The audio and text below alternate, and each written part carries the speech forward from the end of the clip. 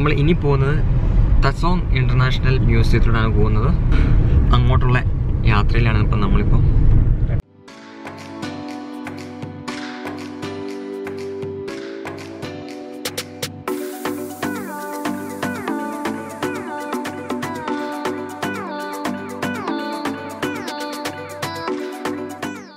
അപ്പോൾ ഇവിടെ നോക്കുമ്പോഴാണെന്നുണ്ടെങ്കിൽ നമുക്ക് താഴത്തെ ആ വാലി വ്യൂ കാണാൻ പറ്റും. വാലി വ്യൂവും അതേപോലെ തന്നെ ആ പാറോ എന്റെ പാറോ സിറ്റി കാണാൻ പറ്റും.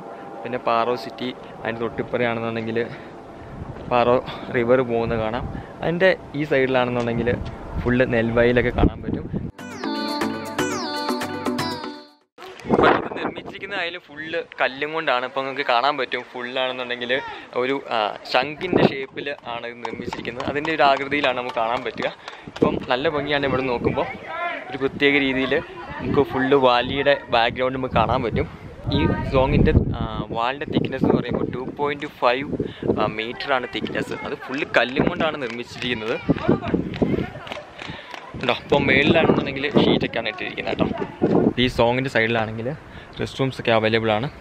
റെസ്റ്റ് റൂംസ് ഒക്കെ ആവശ്യമുണ്ടെങ്കിൽ നിങ്ങൾക്ക് അത് യൂസ് യൂസ് ചെയ്യാം. പിന്നെ നമുക്കിവിടുന്ന് നേരത്തെ ആണെങ്കിൽ വ്യൂ കാണിച്ചു തന്നില്ലേ? പാറോ സിറ്റിയുടെ അപ്പം ഈ ഇപ്പുറത്തെ സൈഡിൽ നിന്ന് നോക്കുമ്പോൾ വേറൊരു വ്യൂ കാണാൻ പറ്റും.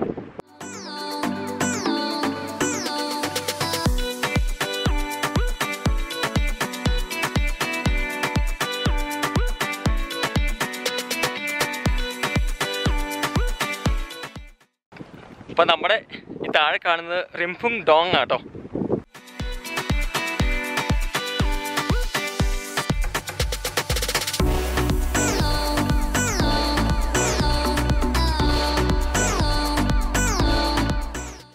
ആയിരത്തി അറുന്നൂറ്റി നാൽപ്പത്തി ഒമ്പതിലാണ് ഇത് ബിൽഡ് ചെയ്തത്. ഇതിന്റെ മെയിൻ മോട്ടീവ് എന്താ വെച്ചാൽ താഴെയുള്ള ഡോങ് ഡോങ്ങിനെ പ്രൊട്ടക്റ്റ് ചെയ്യാൻ വേണ്ടിയിട്ടാണ് ഇതൊരു വാച്ച് ടവർ ആയിട്ടായിരുന്നു ബിൽഡ് ചെയ്തത്.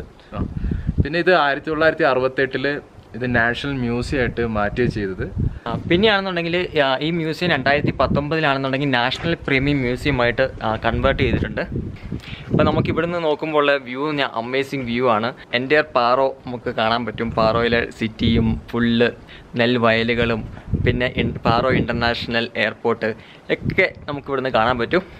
ഇപ്പോഴാണ് ഈ പാറോ ഇന്റർനാഷണൽ എയർപോർട്ടിൽ നിന്നാണെങ്കിൽ ഒരു പ്ലെയിൻ ടേക്ക് ഓഫ് ചെയ്യാൻ പോകുന്നുണ്ട്. ആ വ്യൂ ഒന്ന് കാണിച്ചു തരാം.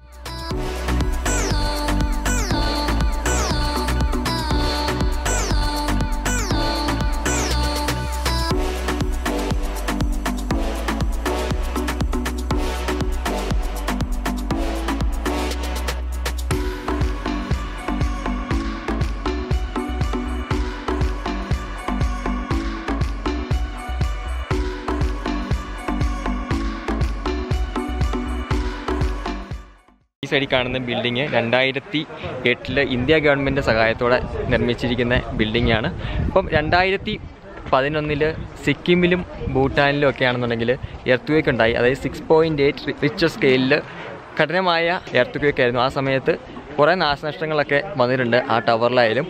ആ സമയത്ത് അതിനകത്ത് വച്ചിരുന്ന കുറേ ഡിസ്പ്ലേ കാര്യങ്ങളൊക്കെ നശിച്ചു. പിന്നെ അതിനകത്തുണ്ടായിരുന്ന കാര്യങ്ങളെല്ലാം എടുത്ത് മാറ്റി. ഇപ്പം ഈ ബിൽഡിങ്ങിലോട്ട് മാറ്റിയിരിക്കുകയാണ്. അപ്പോൾ ഇവിടെയാണ് നാഷണൽ മ്യൂസിയം. പിന്നെ national മ്യൂസിയത്തിനകത്ത് camera equipment camera mobile even bag പോലും അലൗഡല്ല. എല്ലാം വെളിയിലെ ലോക്കറിൽ വെച്ചിട്ട് വേണം അകത്തേക്ക് കയറാൻ. ഇപ്പോൾ നാഷണൽ മ്യൂസിയത്തിനകത്താണെന്നുണ്ടെങ്കിൽ നമ്മുടെ ഭൂട്ടാനിലെ പരമ്പരാഗതമായ രീതിയിലുള്ള ട്രഡീഷണൽ ഡ്രസ്സുകളും അതേപോലെ തന്നെ മാസ്കുകളൊക്കെ അകത്ത് വെച്ചിട്ടുണ്ട്. പിന്നെ അങ്ങനെ കുറേ ഭൂട്ടാനെ പറ്റി അറിയാൻ പറ്റുന്ന ഭൂട്ടാന്റെ ഫുൾ ഹിസ്റ്ററി ഉണ്ട്. ഹിസ്റ്ററീസും അങ്ങനത്തെ കാര്യങ്ങളെല്ലാം അതിൽ ഭൂട്ടാന്റെ കൾച്ചർ പിന്നെ അവിടുത്തെ ബേർഡ്സ് ഇവിടെ കാണുന്ന മൃഗങ്ങൾ ബേർഡ്സ് അതിന്റെ ഡീറ്റെയിൽ അതിന്റെ അതുകൂടാതെ വീഡിയോസ് വരെ ഉണ്ട്. നമുക്ക് അവരുടെ സൗണ്ടും കാര്യങ്ങളൊക്കെ കേൾക്കാം. പിന്നെ കുറച്ച് ഡോക്യുമെന്ററി വീഡിയോസുകളുണ്ട് പിന്നെ കംപ്ലീറ്റ്ലി ഇൻഫർമേറ്റീവ് ആണ് കംപ്ലീറ്റ്ലി പിന്നെ ഓരോ ഹിസ്റ്ററി അതായത് ഭൂട്ടാന്റെ ഓരോ രാജാവിന്റെ ഡീറ്റെയിൽസും കാര്യങ്ങളൊക്കെ മെൻഷൻ ചെയ്ത് വെച്ചിട്ടുണ്ട്. നമുക്ക് കണ്ടു മനസ്സിലാക്കാം. അപ്പം നിങ്ങൾ വരുമ്പം ഇത് തീർച്ചയായിട്ടും വന്ന് വിസിറ്റ് ചെയ്യുക. ഇത് മിസ് ചെയ്യാൻ പാടില്ല. പിന്നെ നമുക്ക് ഇവിടെ നിന്നുള്ള ആ വാലി വ്യൂവും കാണാം. അതാണ് കിടിലൻ കാഴ്ച ഇവിടെ നിന്നുള്ള പിന്നെ രാത്രി ആണെങ്കിൽ ഉണ്ടല്ലോ ഈ തസോങ് കാണാൻ നല്ല ഭംഗിയാണ്. എന്നുവെച്ചാൽ രാത്രിയിൽ ഇത് ഫുള്ള് ലൈറ്റ് കൊടുത്തിടും കേട്ടോ. വെളിയിൽ നിന്ന് ഫുള്ള് അപ്പോൾ നല്ല വെളുത്ത് നല്ല ഭംഗിയായിട്ട് നിൽക്കുന്നതാണ് നല്ല ഭംഗിയാണ്. അത് നമുക്ക് അങ്ങ് ദൂരേന്ന് കാണാൻ പറ്റും. നൈറ്റ് വ്യൂ ആണെങ്കിൽ ഞാൻ കഴിഞ്ഞ ദിവസം എടുത്തിട്ടുണ്ടായിരുന്നു. അപ്പോൾ ആ വ്യൂവും കൂടെ ഞാൻ കാണിച്ചു തരാവേ അപ്പോൾ നമുക്കിനി ഇവിടുന്ന് ഇറങ്ങാം. ഇവിടുന്ന് ഇറങ്ങി ഇനി അടുത്ത സ്ഥലത്തേക്ക് പോകാം